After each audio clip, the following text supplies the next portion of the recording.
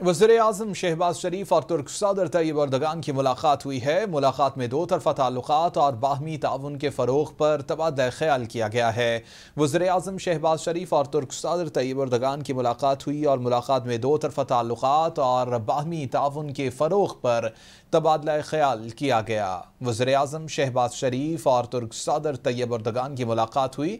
ملاقات میں دو طرفہ تعلقات اور باہمی تعاون کے فروغ پر تبادلہ خیال کیا گیا۔